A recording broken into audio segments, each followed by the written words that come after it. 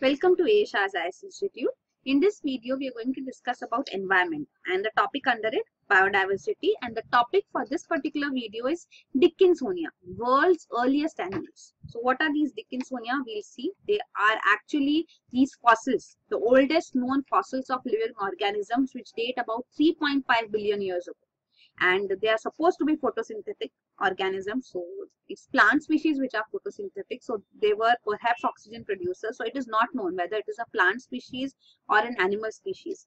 But recent study has revealed that these are actually animals not plants. So here you can see it's the earliest known fossil. It has been found you know from in australia and also in north russia. So these are the two regions in which it has been found. South australia and north russia. And it is often considered to be even an annelid worm because of its apparent similarity to one of the genus of an extant worm.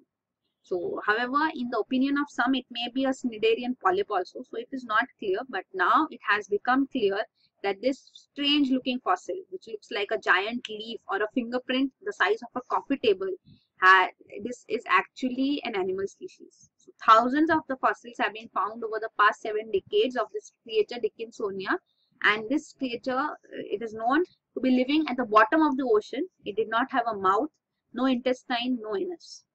So it was half a billion years ago that this creature lived. So now it has been clear. One of the fossils which have been found in Russia, it had these molecules of cholesterol, which is a type of fat. So this confirms that this animal, this is an animal. This is Earth's earliest known animal. So you can see. So this animal, these animals were abundant 558 million years ago and was part of the Ediacara biota. So this lived at a time when the bacteria reigned the earth. And it was the Ediacaran period, about 20 million years prior to the emergence of modern animal life that this species lived. So you should know this Ediacaran period was about 20 million years prior to the emergence of modern animal life. So modern animal life came during Cambrian period, which is also known as Cambrian explosion. So this was even before the Cambrian explosion that this animal species lived. And many of the known fossils are in Australia.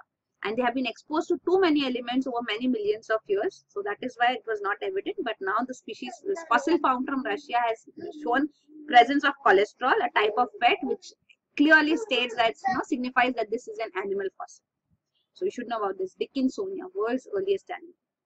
So that is it. Thank you.